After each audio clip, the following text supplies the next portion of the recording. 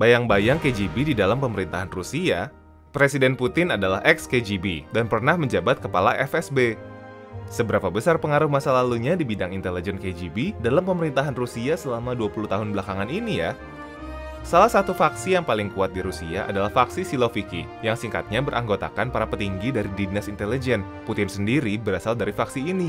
Teorinya, faksi ini seharusnya hanya berperan di bidang keamanan nasional Uni Soviet, Kenyataannya, keamanan nasional selalu aja dihubungkan dengan bidang-bidang lainnya. Jadi bisa ditebak, para Siloviki juga selalu mau ikut campur dan berperan penting di semua bidang, bersaing melawan pengaruh dari faksi-faksi lainnya.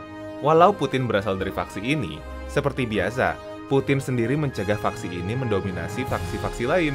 Maklum, Faksi dengan latar belakang seperti ini biasanya super paranoid terhadap semua yang berbau liberal alias barat. Mirip-mirip lah sama faksi konservatif di Indonesia. Seandainya ekonomi Rusia dikuasai mereka, faktor-faktor yang penting bagi kemajuan Rusia seperti kepastian hukum, pengurangan korupsi, perlakuan adil untuk investor dan pengusaha, dan penghapusan banyak peraturan yang membatasi kegiatan ekonomi tidak akan mengalami kemajuan berarti. Hal ini karena bagi faksi Siloviki dan berbagai faksi konservatif di Rusia, semua yang berbau barat seperti liberalisasi ekonomi dipandang dengan penuh kecurigaan.